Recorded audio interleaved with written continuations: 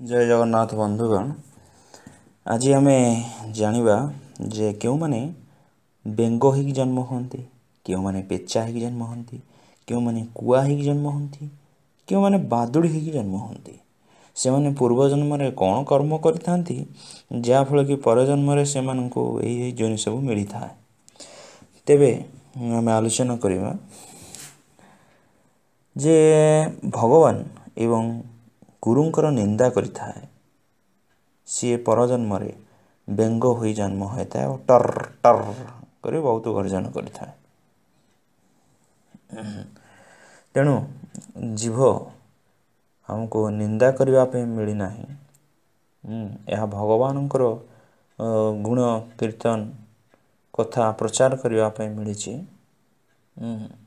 ତେଣୁ ନିନ୍ଦୁକମାନେ ଯେଉଁମାନେ ନିନ୍ଦୁକ ସେମାନେ ନର୍କରେ ଅନେକ ଯନ୍ତ୍ରଣା ଭୋଗ କରିବା ପରେ କୁଆ ଶରୀର ଧାରଣ କରିଥାନ୍ତି ଅର୍ଥାତ୍ କୁଆ ରୂପେ ଜନ୍ମ ହୋଇଥାନ୍ତି ଆଉ ବ୍ୟର୍ଥରେ କାହା କାହା କରିଥାନ୍ତି।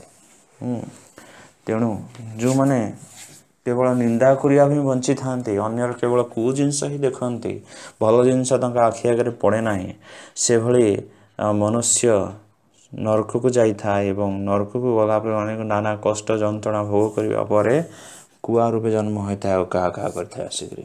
ସେଥିପାଇଁ ଆମର ଶୁଣିବାକୁ ମିଳେ ବୟସ୍କ ଲୋକମାନେ ଯଦି ଡାମରା କାଉ ଘର ଉପରେ ବସି କାହା କାହା ଗର୍ଜନ କରେ ତେବେ ତାକୁ ଘୋଡ଼ି ଦେଇଥାନ୍ତି। ଯା ଯାହା ଯାହା ଯାହା ସେ କାହା କାହା କହିବାକୁ ଆମେ ହେ ଯା ଯା ଯାହା ଯାହା କହିଥାଉ।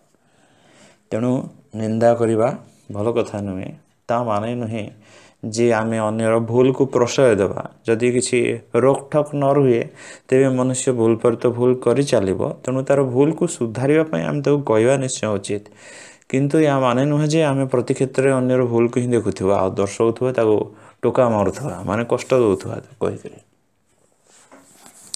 ଉଦ୍ଦେଶ୍ୟ ସୁଧରିବା ହଉ ଉଦ୍ଦେଶ୍ୟ ଅନ୍ୟ ମନରେ କଷ୍ଟ ନ ଦେବା ନ ହଉ ଠିକ୍ ଅଛି ଏତ ଥିଲା ଆମେ ଦେଖିବା ଯେ କୁଆ କ'ଣ କଲେ ଜନ୍ମ ହୋଇଥାନ୍ତି ଏବଂ ଦେଖିବା ଏହାପରେ ପେଚା କେଉଁମାନେ ହୋଇଥାନ୍ତି। ଯେଉଁ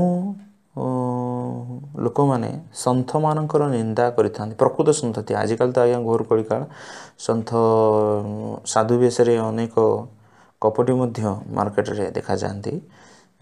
ଲୋକଙ୍କୁ ଠକିବା ପାଇଁ ଲୋକଙ୍କର ଯେଉଁ ଈଶ୍ୱରଙ୍କ ପ୍ରତି ଭୟ ଈଶ୍ୱରଙ୍କଠୁ କିଛି ପାଇବାର ଆଶା ଏଭଳି ଲୋକମାନଙ୍କୁ ବର୍ତ୍ତମାନର ସାଧୁ ସନ୍ଥ ଲୋକମାନେ ନାନା ପ୍ରକାର ଠକିଥାନ୍ତି ତ ପ୍ରକୃତ ସନ୍ଥ କିନ୍ତୁ ଯିଏ ତାଙ୍କର ଯିଏ ନିନ୍ଦା କରିଥାଏ ସେମାନେ ପେଚା ହେଇକରି ଜନ୍ମ ହୋଇଥାନ୍ତି ପରଜନ୍ମରେ।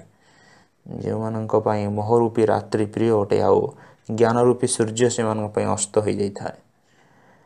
ତ ଯେଉଁ ମୂର୍ଖମାନେ ସମସ୍ତଙ୍କର ନିନ୍ଦା କରନ୍ତି ସମସ୍ତଙ୍କର ଯାହାକୁ ପରେ ତାର ନିନ୍ଦା କରିବେ କାହାକୁ ଛାଡ଼ିବେନି? ତ ସେଭଳି ମୂଢ଼ମତୀମାନେ ପରଜନ୍ମରେ କ'ଣ ହେଇକି ଜନ୍ମ ହୋଇଥିବେ କହିଲେ? ବାଦୁଡ଼ି ହେଇକି ଜନ୍ମ ହୁଅନ୍ତି। ତେଣୁ ଆଜ୍ଞା ନିନ୍ଦୁକମାନେ ଆମେ ଯେତେ ସବୁ ଆଲୋଚନା କଲେ ଏସବୁ ନିନ୍ଦୁକମାନେ ନିନ୍ଦୁକମାନେ ଭିନ୍ନ ଭିନ୍ନ ଏଇଭଳି ପଶୁପକ୍ଷୀ ଯେଉଁ ଜନ୍ମଗ୍ରହଣ କରିଥାନ୍ତି। ତେଣୁ ନିନ୍ଦା ଆମର ଅନ୍ୟର ଅନ୍ୟକୁ ସୁଧାରିବା ଉଦ୍ଦେଶ୍ୟରେ ହେଉ ଅନ୍ୟକୁ ମାନେ ଅନ୍ୟର ଭୁଲଟା ଦର୍ଶେଇକିରି ଆମେ ନିଜେ ବାହାଦୁରୀ ମାରିବା ଏବଂ ଅନ୍ୟକୁ ଅନ୍ୟର କୁଗୁଣକୁ ତା ଆଗରେ ପ୍ରକାଶ କରିବା ଅନ୍ୟ ଆଗରେ ପ୍ରକାଶ କରି ତାକୁ କଷ୍ଟ ଦେବା ଉଦ୍ଦେଶ୍ୟ ନ ହେଉ। ଅନ୍ୟକୁ କଷ୍ଟ ଦେଇକରି ଆମେ ଆନନ୍ଦ ପାଇବା ଯଦି ଉଦ୍ଦେଶ୍ୟ ହେବ ତାହେଲେ ଆମେ ନିଶ୍ଚୟ ପରଜନ୍ମ ଏଭଳି ଜନିମାନ ପ୍ରାପ୍ତ ହେବା। ଆଶା କରେ କିଛି ଏଥିରୁ ଜାଣିବାକୁ ମିଳିଥିବ। ଯଦି କିଛି ଲାଗେ ଯେ ନାହିଁ ଯେ ଏଥିରୁ କିଛି ଜାଣିବାର ହେଲା ତେବେ ଆମେ ଅନ୍ୟମାନଙ୍କୁ ସେୟାର କରିବା ଆଉ ଭିଡ଼ିଓକୁ ଲାଇକ୍ ନିଶ୍ଚୟ କରିବା। ଜୟ ଜଗନ୍ନାଥ।